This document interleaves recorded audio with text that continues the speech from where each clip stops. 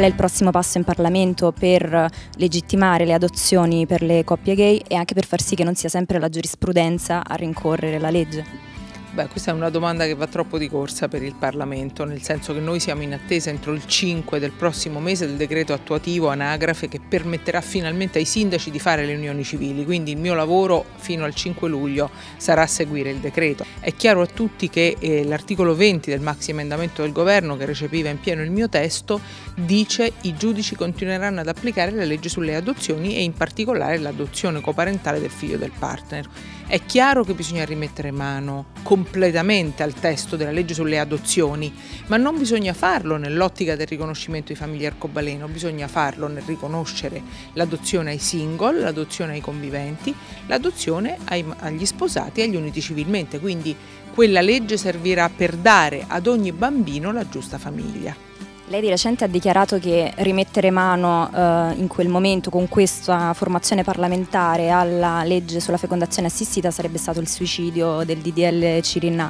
In cosa pensa che la legge 40 vada superata?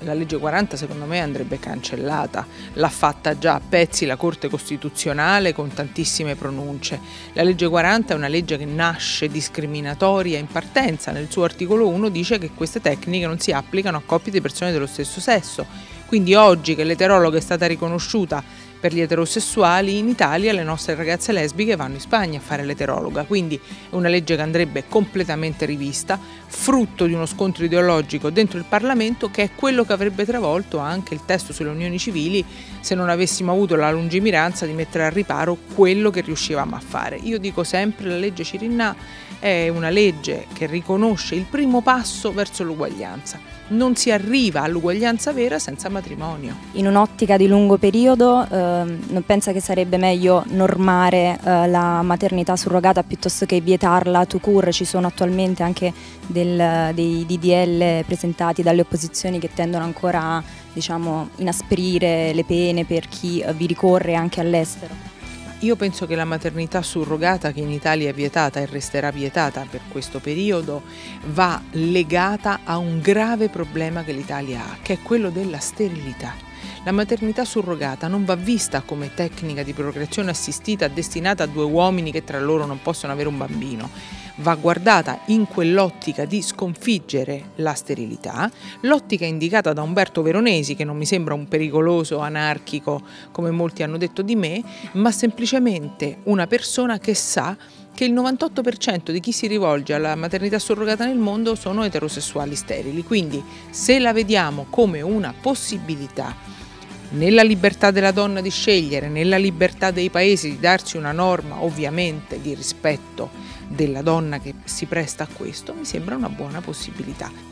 A proposito di problemi culturali, eh, da un festival che si occupa di eh, tematiche di genere, cosa si sentirebbe di dire a chi lamenta una invasione di questa fantomatica ideologia gender nelle scuole e la guarda insomma con un po' di sospetto? Dico che si usano le parole straniere quando non si vuole far capire niente alle persone, quindi gender non vuol dire niente come non vuol dire niente stepchild adoption. Se avessimo spiegato agli italiani che noi volevamo estendere la responsabilità genitoriale sul figlio del partner, quello che già avviene tra gli sposati, molti avrebbero compreso e non si sarebbero opposti se noi parliamo di rispetto della differenza di genere, di educazione ai sentimenti e di educazione alla possibilità di essere inclusivi e rispettosi per tutti, penso che nessuno si può opporre. Quindi io dico intanto usiamo il nostro meraviglioso italiano e spieghiamo ai medievali ovunque si siedano, perché ce ne sono tanti anche nel mio partito,